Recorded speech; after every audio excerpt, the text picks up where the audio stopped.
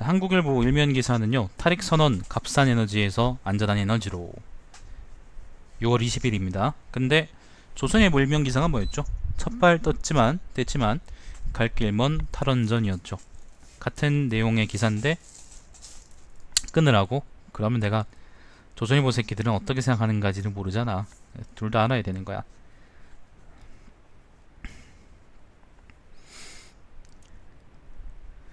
자, 아무튼 그 같은 이야기를 하는데 같은 이야기를 하는데 표현은 하나는 족같고 하나는 겸손하죠, 그죠? 자, 서울 모든 지역 분양권 전매 금지 요거는 619 부동산 대체에 관한 이야기고요. LTV하고 DTI 관련한 이야기입니다. LTV는 아까 얘기했던 것처럼 뭐였더라? DTI는 총부채 상환 비율인데 LTV가 뭐지? 아, 주택담보 인정 비율. 항상 난 이걸 까먹네요. 자, 금수저 깜깜이 전형 논란 커지는 학종 불신. 아까 얘기했던 것처럼 아까 아까 얘기했던 것처럼 나도 학생부 종합 전형에 대해서는 굉장히 회의적이에요. 음, 나는 이제 예를 들면 특목고나 자사고 같은 것들을 줄이는 거, 줄이거나 없애는 거에 대해서는 적극적으로 찬양하는데 찬성하고 수능을 쉽게 낸다 그런 것도 적극적으로 찬성하는데 학생부 종합 전형을 없앤다는 거에 대해서는 아니 크게 한다는 거에 대해서는 나는 영 동의하지 않습니다. 이게 노무현 때 이제 나왔던 정책인데 교육 정책인데 그때 당시에 이제 나왔던 뭐 교육 백사라든가 아니면 뭐 정부 쪽 그 교육부 관련한 인사들 이해찬이었나 그때가 아무튼 그, 그 사람들의 이야기를 들어보면은 학생부 종합 전형을 왜 만들었고 노무현 정부가 그렇게 욕을 처먹으면서도 아무튼 교육 정책을 그렇게 폈는지에 대한 얘기가 나와요. 그리고 그거는 설득력이 있는데 취지는 충분히 하는데 아무튼 뭐 내 생각에 그거는 좀 많이 이상적인 얘기 같고 내 생각에는 수능을 쉽게 하고요.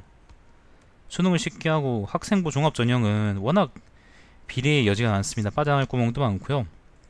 부적절하게 이제 사람들이 뽑힐 가능성이 훨씬 큰 전형이라고 생각해요. 그래서 난 수능을 쉽게 하고 학생부 종합 전형 그런 거 없애고 어 그런 그렇게 하는 게 난 좋은 정책이 아닐까 난 생각이 들거든. 그러니까 내 생각은 대학을 평준한다는 거지.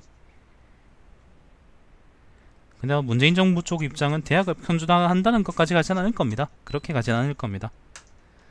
학생부 종합전형 같은 걸 붙들고 있는 거 보면 어쨌든 학생들을 선별해야 된다, 선별할 필요가 있다라는 점에는 문재인 정부가 또 오히려 동의하고 있는 거예요. 오히려 나보다 이제 훨씬 기존 체제하고 가까운 거긴 하죠. 어, 내가 좀 더 많이 급진적인 거지. 자 아무튼 그렇습니다. 이면입니다. 저성장 극복 이젠 케인스 넘어 슌페터 불러와요. 케인스는 정부 주도 경제 학자고요. 여러분 아시죠, 그죠? 슌페터는 공급 혁신에 관한 이야기를 한 사람이라고 하는데 난 잘 모르겠습니다. 아, 케인스와 슌페터 정책을 비교한다라고 해서 표도 만들어놨는데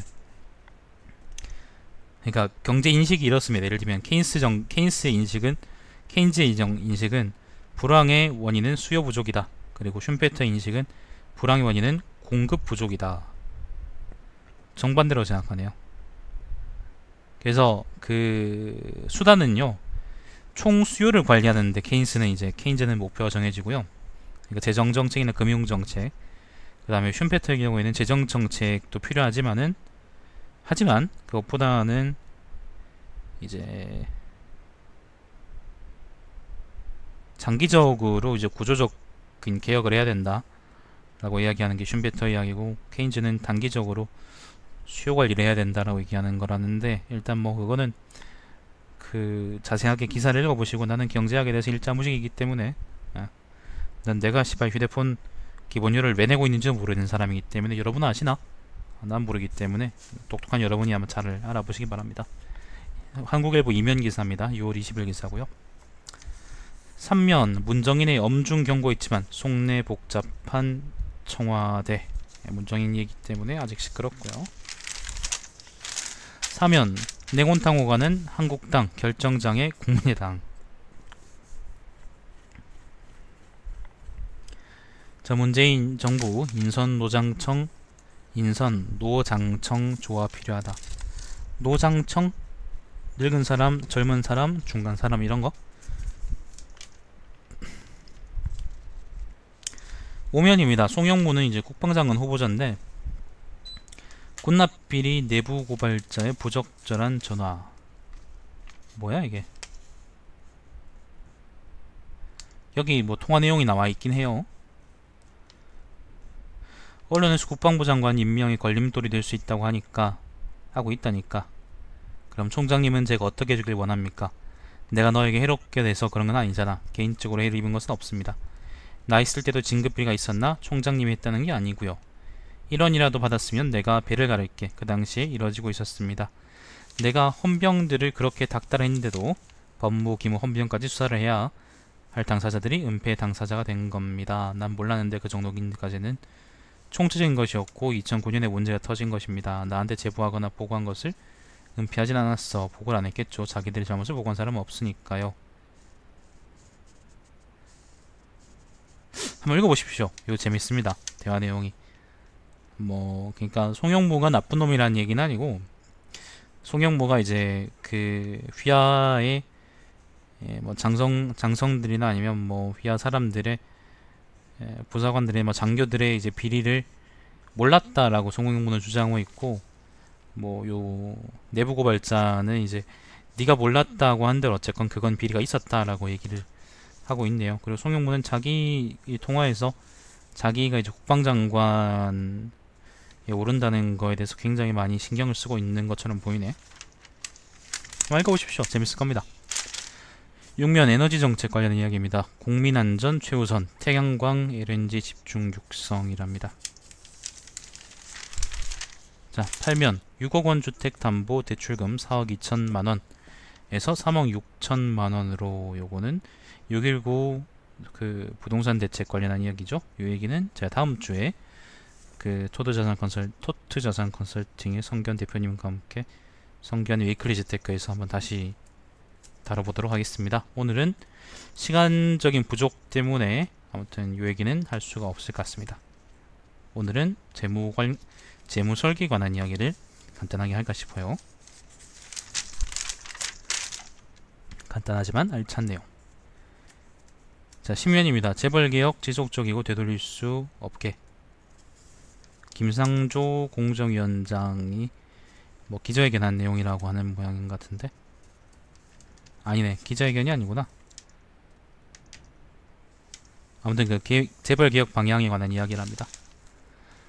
하... 한번 읽어보십시오. 여기 이것도 기사를 한번 자세히 읽어보시고 예, 기사를 읽어보십시오. 중소기업 부당 전속거래 없애달라. 공정위 대기업 갑질도 정조준. 부재가 이렇습니다. 단가 후려치기, 기술 탈취 등 중기 중앙회 관행 개선 요구, 현행 하도급법으로는 처벌 난망 공정위 요구사항 검토 중 자, 이것도 이런 얘기도 있습니다. 문재인 대통령 공약 통신비 기본료 폐지 사실상 무산 부재가 이렇습니다. 미래부 통신비 인하 4차 보고 선택 약정 할인율 상향 등 제시 국정기획위는 폐지 수준 인하이다. 라고 자비하면 안 되죠. 기본율 없애야지 이 사람들아. 시발놈들이 그 기본이 없으라고 뽑아놨는데 뭐하는 거야? 이런 얘기도 있습니다. 일자리 정책 쌍수 들어 환영. 정부에 바짝 엎드린 경총.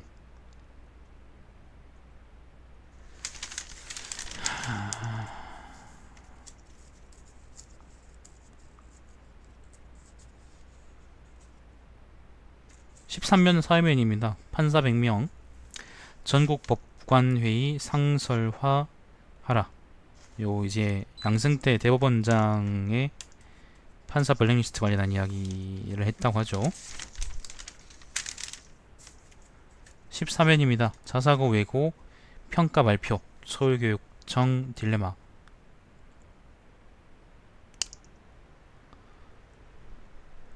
정부 정책 하고 그러니까 재지정해야 되는데 자사고하고 외교를 2년 그 아무튼 이제 그 일정 기간마다 뭐 재지정하고 뭐 그렇게 해야 되나 봐요. 근데 이제 그거에 대해서 재지정 해버리면 정부 정책에 역행하는 게 되는 거고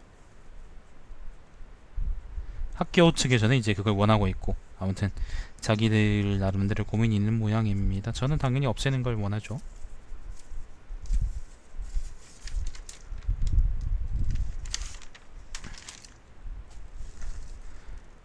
십육면은 이 뭐야? 군의군수 주민수원 투표 정족수 돌파 이 뭐지? 대구 통합공항 이전 사업 관련해서 아무튼 뭔가 있는 것 같은데 군의군에 무슨 일이 있죠? 대구 위쪽에 있는 동네인데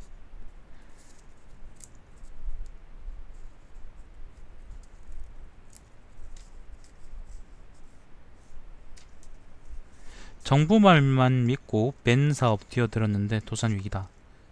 벤 사업이라는 거는 IC 단말기 교체 사업이라고 하는데 한국 신용카드 네트워크 IC 단말기 교체 사업으로 52억 날릴 처지다. 협회에서 제공받은 명단이 엉터리다. 일일이 전화해서 35만 곳을 출연했지만 지난 1년간 교체는 1만여 건 불과.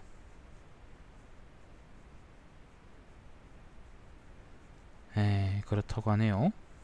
이 그거네. 그 박근혜 정부 때 시작된 정책인가 본데요. 2015년 5월이라고 2015년 5월에 이제 입찰 공고가 떴다고 하니까 예.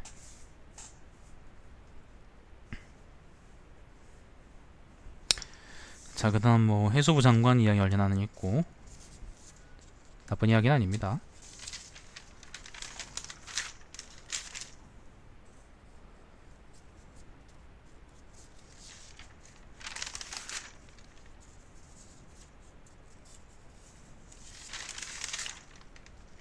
오나면에는 권지용 그 약장이 권지용 아저씨의 그거 있죠. 그 셀범이 왜 색이 번지냐 뭐 그런 얘기가 있고요.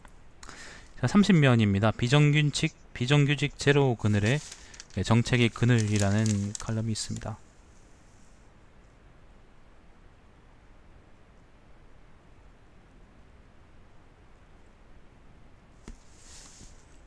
어, 이런 얘기입니다. 하지만 경영진은 문 대통령의 선언을 맞춰 가장 먼저 비정규직의 정규직 전환 방침을 밝혔다. 계산은 다른 게 아니었다. 사내 비정규직을 정규직으로 전환해 재배치하는 대신 위탁업체와의 점진적 계약 해지를 통해 정규직 전환 인력의 3배에 달하는 콜센터 등의 파견직 근로자를 해고한다는 것이었다. 그러니까 300명이 정규직 전환되는 대신에 900명이 잘리는 겁니다. 이걸 보고 우리가 뭐라 그러냐면은 눈 가리고 아웅이라고 하죠.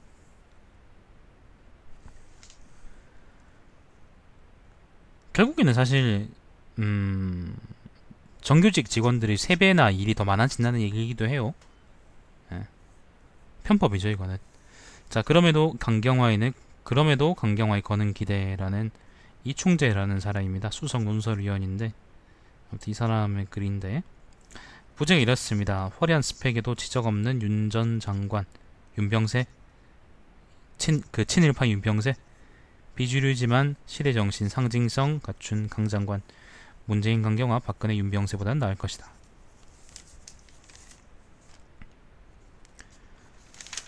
자, 사설 보죠. 31면입니다. 한미 정상회담 코앞에 두고 미국 불신부를 언행 안 된다. 자, 불신을 살리고 과열은 막아야 한 과열은 막아야 할 부동산 대책. 설악산 케이블카 사업 자연보호 생각하면 신중해야. 뭐 그런 얘기도 있어요. 끝. 끝. 하, 끝났네. 오늘 뭐그 6.19 부동산 대책 관련한 이야기들이 좀 있고 그게 사실 주축이 돼야 되는데 그것보다는 다른 이야기들이 훨씬 많네요. 자 일단 여기서 그 신문 브리핑 종료하고 어, 오블리비언 조금 하죠.